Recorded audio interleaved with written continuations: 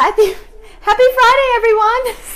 So sorry about that. It's Dr. Bridget Young from babyformulaexpert.com here for happy hour to talk about Enfamil's new formulas. New formulas.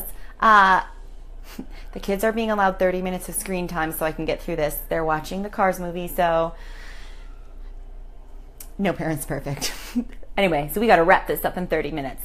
So if you hear their voices or tomato in the background, you know what's going on. Um, I'm Dr. Bridget Young. I'm a doctor of perinatal nutrition and a certified lactation counselor and founder of babyformulaexpert.com. Uh, today on Happy Hour, we are going to be talking about Enfamil's new look and they so they've just released a new label and a sort of new look to some of their formulas. Uh, and along with that is the branding of premium on some of their formulas. So I have kind of poured through the ingredients and I'm going to give you my take on what is different about these formulas and a little bit of the biology of why this matters or not. So this Friday I, I am having a cocktail. That was a lovely way to get started. Um, here are my notes. So Enfamil, you may or may not see this in your store yet. It's definitely on Amazon. Enfamil just released a premium version of their Enfamil Infant, the yellow, Enfamil Gentlease, and Enfamil Newborn. So the new label says premium on it and it doesn't have the little cute owl. So they're going through a rebranding. And I have no relationship with formula companies, so I hope I report all this correctly. But my impression is Every time you see a formula company go through a rebrand, usually it's accompanied by a subtle change in recipe. Now, if it's a big change in recipe, hopefully they would make some kind of press announcement because if you're feeding your baby one, you would want to know. Uh, that's not the case here. Uh, it's a subtle change, but there is a difference. And so um, I spent a lot of time on the Enfamil website. Their website for medical professionals is not updated yet, which I really wish they would get on that. So they've released this new formula and it's not even on their website for medical professionals. So I had to do a little bit of digging um, and just go with what is on their standard website. And basically, the difference, this is what it boils down to. So for Enfamil Infant, Enfamil Gentlease, and Enfamil Newborn, as far as I can tell, the only difference between the original formula and the premium that is on the shelves now is that the new version the premium has four times as much inositol as the original version. Yes, you heard me, inositol. I'm sure you're like, what the F is inositol? Why isn't it even in formula? Well, I will give you a quick five minute background about what inositol is, why it's in formula, and then, um, and then you can make a decision about is more or less important to you, which is basically what you need to decide if you're deciding between premium versus their original. So I'm going to go out on a limb and say I think I know more about breast milk composition than probably 99.9% of people on earth. And I knew inositol was in breast milk, but honestly, I really didn't know much about it. I couldn't have told you, like, for real, what it was and why it was exactly in formula or breast milk. It's just one of those things that um, we haven't studied that much. It's kind of, uh, I don't know. You okay? Juan's joking. Oh, he's good. Um, the things that is not considered one of these major major issues like you know when we decided to add iron to formula because babies were becoming anemic and dying like not like that so he did honey so here's what inositol is Quick definition for you fellow uh, organic chemistry or bio nerds. Inositol is actually a sugar alcohol. Technically, it is roughly half as sweet as sugar. Now, the levels in formula are so low, it's not contributing to the taste profile of formula. Um, but uh, it chemically looks it, similar-ish to glucose in that it's a six carbon chain and inositol actually has an OH moiety and alcohol moiety on every single carbon. So the structure is this very symmetrical looking soccer ball shape with all these alcohols coming off the edge. If you don't know what that means, you don't need to know. It's fine. Here's what um, the kicker about inositol. It actually is very critical to biology. It plays a lot of roles as secondary messengers to a lot of different cellular functions. It also plays a lot of stru- structural roles because it can be incorporated into several larger molecules, um, a lot of which have phosphate attached Phosphatidylinositol may be something you have heard about in your molecular biology exams. Um, inositol is the base of that. And it actually, I've got notes here because I had to brush up on this stuff. Um, so, inositol itself, as a, mes- a, messenger molecule and also as a structural molecule, plays a role in a slew of very important biological functions for life, like insulin signaling, cytoc- cytoskeleton assembly. I'm not going to read all these. Breakdown of fats, general uh, gene expression, so like real important things. The reason that you don't hear about it a lot, like you hear about iron or zinc, is inositol technically isn't an essential nutrient, and that's because your body. Oh, here comes Vaughn, and he's so dirty. Oh boy, Vaughn. Um, you're filthy because inositol, your body can generate inositol from glucose. Thank you very, thank you very much. You're all done. Like I said, it's very similar to glucose. Let me do a quick wipe off here. Oh boy. Um, so your body is capable of making it, which is why it technically is not a nutrient. Okay. Fun fact is that a long time ago, it was considered a vitamin. It was vitamin B8, but it is no longer considered a vitamin because, again, your body can make it. And vitamins and minerals are technically something that you need to obtain from your diet in order to support life. So, you showing everyone how dirty you are? yeah. So, so that's what inositol is. The reason that we add it to, got yogurt all over me. The reason we add it to formula. Are you just showing off? is that yeah honey i'm sorry for all the distractions the reason we add it to formula is because there's a lot of inositol in breast milk so here's the thing. Even though your body is capable of making it evolutionarily the human race decided like well newborn babies really should be getting more inositol from their diet. Maybe they're not capable of making it as quickly as we would like when they're so little and they probably need so much because they're doing so much growing. That is too loud. Thank you. So it's really high in colostrum and then decreases over the first four days of lactation and then hits kind of a minimal plateau where it remains constant inositol in breast milk. Um, and there's the most of the research about inositol in human milk is in premature infants, and we've got really great research to suggest that infants born prematurely really should be supplemented with inositol. It improves a lot of outcomes. It prevents retinopathy, uh, which is all kinds of terrible eye outcomes, and lung disease, and a lot of um, lung damage and disease related damage that premature infants are especially susceptible to. So, without a doubt, premature infants have needs for inositol, and their body is not capable of making as much as they need.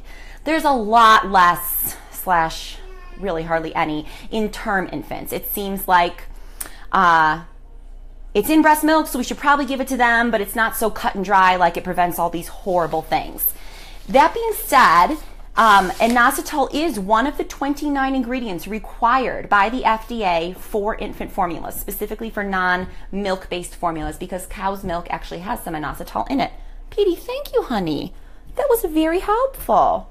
So, um, so all formulas have to have inositol. And I'm actually going to read you word for word a statement from the FDA about inositol in general and why it's in formula. Because um, I think it, it really does a great summary of kind of our lack of understanding about exactly how good inositol may be for a healthy term baby, but why we add it to formula anyway. So this is directly from the FDA.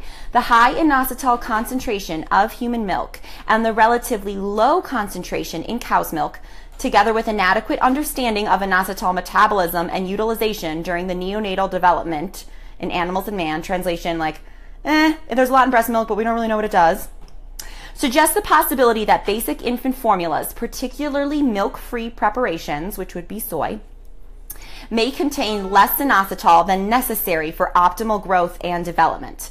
So the rationale for adding inositol to certain infant formulas is based on an assumption that the greater intake ensures against a possible deficiency of inositol during early growth and development when the needs for dietary sources of inositol may be maximal, which makes sense. You know, you the fastest you're ever growing is when you're a newborn, so that makes sense when you would have really high dietary need for inositol. That was a lot of long-winded biology to explain to you why inositol is in formula and what Enfamil has done with their new premium formulas is they've just 4xed the amount of uh, inositol that they have previously added to the formula. So, like I said, the FDA requires it. The FDA just um, sets a minimum. So formulas have to have four milligrams per 100 calories of inositol. And previously, all of Enfamil's formulas had six milligrams per 100 calories. And now their new premium, which comes in infant, their standard infant, newborn, and gentle have 24 milligrams per 100 calories. So that's a lot more all of that is in, within the range of breast milk. So if you study breast milk, um, you know that there's a huge variety in most of the nutrients in breast milk and of what is normal. And it's really hard to look at an individual nutrient like inositol and say, this is how much formula fed babies should have because there's such a range in breast milk. And breast milk all comes together as one thing. It's not like it's just an inositol supplement, it's full of all kinds of other things. But we have to start somewhere and do our best for formula fed babies. So breast milk is what we're trying to emulate. So Enfamil reports on their website, and I think I cannot find the study this comes from, so it's probably an internal study that they've conducted, that the average concentration of mature human milk is roughly 22 milligrams of inositol per 100 cals. I did find a, a few other studies, um, much small studies of inositol in breast milk. Vaughn, no, thank you. Kamikaze over there. Um, and the average is really similar in these studies to what Enfamil reports. So I've done the maths, it's about 20, but the range is huge. So some moms have milk as low as eight, some moms have milk as high as 30. So again, it's really hard to say this exact concentration is the best, which is why you have a lot of different formula companies making different decisions basically about how much is best. So here's what you need to know. I'll get, so we already went over. So inositol in all of Enfamil's original formulas is six milligrams per 100 kcal. The new concentration is 24 milligrams per 100 kcal. To put that in perspective, I had to print these out. So Similac formulas all have between 4.5 and 4.9 milligrams of inositol, so much less per 100 calories, but that's, you know, what the minimum that the FDA has set is four, so it's well above the minimum. And then Gerber's, all Gerber's formulas have six milligrams, so the same as all of Enfamil's original formulas. I'm sure you want me to say, well, so is it better? and uh, my answer is, I have no idea. uh, I, I don't so we're moving now from research to my personal perspective. So that was all just research and numbers. Um, my personal perspective is I think I would consider inositol not necessarily one of those sexy ingredients like lutein because lutein is not required. It's required. So it's important that it's in there for baby's health. But you know, 4 versus 6 versus 24 I did not spend a ton of time researching this because I had the kids with me today. But I haven't found any research to suggest that way more would be better. Um, yeah so it's not an it's not an ingredient that would make or break my decision. I'll go back to my usual stand home stand home standalone take homes is that the macronutrient source of the formula so where's the protein coming from what fats are involved where's the carbohydrate coming from those are much more important to me than the concentration of inositol since all formulas are going to have to meet this bare minimum. So that's what I'm going to say. The other nice thing about that is that if you're feeding infant, or if you're feeding one of infant infant or newborn and all of a sudden like i don't know if they're going to phase these out if they suddenly only have premium available i bet your baby's going to transition with no issues whatsoever um, there's always there's always the random sensitive baby who is sensitive to these very technically benign ingredients um, but in general i don't think your baby would um, notice a difference between the standard and the premium, which is great news because um, your store now has to choose how much of each of these to carry, and they'll probably switch over to carrying mostly the premium. That's usually what happens when a formula releases a new label. So that's the good news. And they seem to be similarly priced, at least on Amazon, which is where I do all my shopping. Lastly, I want to make a quick point about DHA for two reasons. Inositol kind of reminds me of DHA in terms of um, formulas, in that it's one of those things that gets a lot of marketing attention that we don't 100% understand what the best amount is, and your body's capable of making it. So, very similar to an inositol. DHA is not a required fatty acid because your body is capable of making it. We add it to formula because there's a lot in breast milk, just like an inositol, and also because we think that maybe when babies are growing so fast when they're little, their needs for DHA might be higher than their body can keep up. But babies who are fed formula without DHA grow just fine, and there's been a lot of studies suggesting that adding it to formula doesn't really improve long term outcomes. So, inositol kind of reminds me of DHA in that way, but there doesn't seem to be any harm to adding it in, you know, 24 milligrams per 100 calories. So I'm totally fine with that.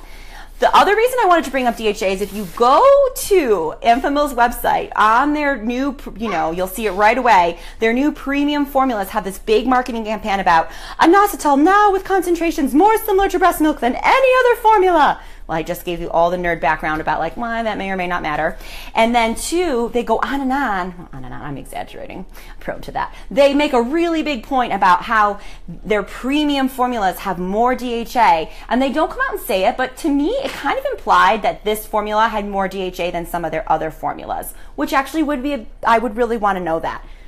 It does not all of Enfamil's formulas still have the exact same amount of DHA as the original version. It's 17 milligrams of DHA, 34 milligrams of ARA, which is arachidonic acid.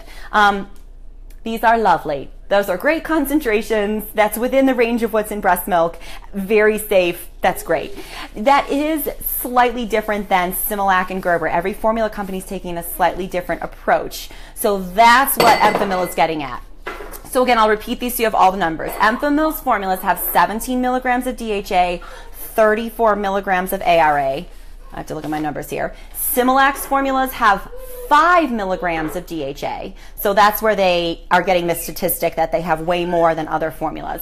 And 22 milligrams of ARA. So they do have slightly less.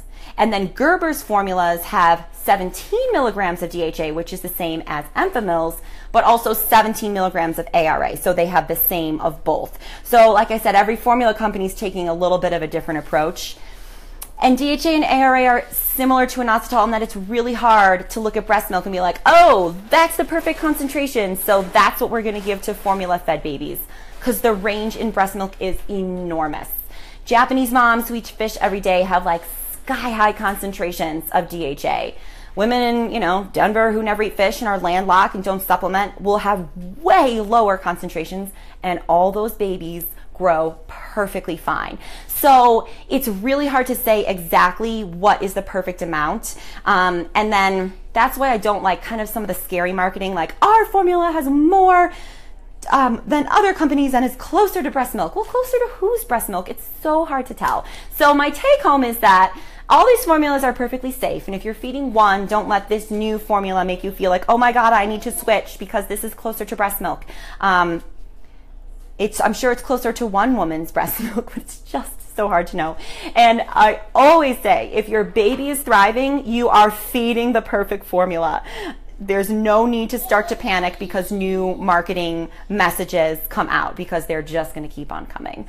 So I'm sure we'll hear more. I, I mean, I just saw these new labels online because I'm on these websites almost every day. So um, I'm sure you'll see them in your store if you haven't already. And if one of your girlfriends asks, you can refer them to this video that it's really just the inositol that has changed and the DHA and ARA has not changed but is different from other formula companies but it's always been different. So I hope that is helpful. I hope that's a little soothing. I hope you um, information junkies out there liked the tiny biology lesson about inositol in the beginning. And if you have any questions about formulas or you're, that you're considering, or if your baby's having a hard time adjusting to a new formula or finding one that works, I know how painful that is. Um, and I would love to help. So you can sign up to set up a free call with me right on Facebook. You can click book now and it will take you to my calendar. And of course, you can also get there through my website, babyformulaexpert.com.